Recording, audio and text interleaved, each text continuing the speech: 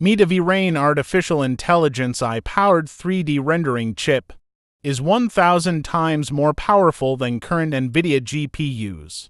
The chip may also use 26,400 times less energy and 180 times less VRAM, and can be integrated in a portable device no larger than a smartphone. It is designed to simplify the conversion of 2D material into editable 3D models for the metaverse.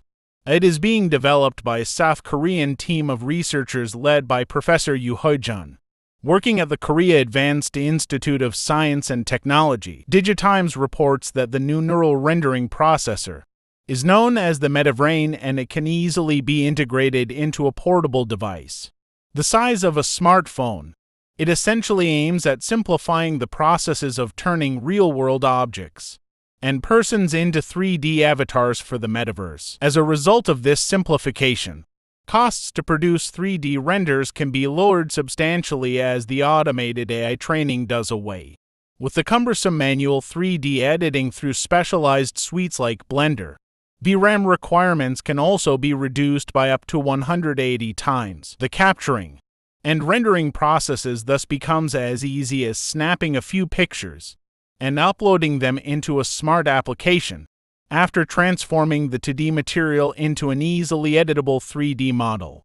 The smart app can then apply textures pre-trained from certain art styles like that of Picasso in order to remedy the initial inefficiencies with the AI-assisted rendering processes.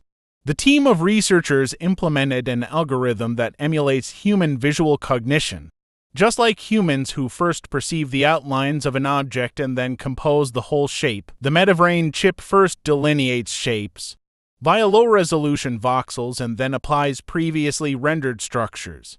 To increase calculation speeds, dot image capture is done through a very advanced CMOS sensor and the rendering process is done at least 911 times faster compared to current consumer GPU. A demo video shows that MetaVrain can render a model at 30 to 0.8 FPS, while an RTX 2080 GPU renders only less than 3% of a frame in one second.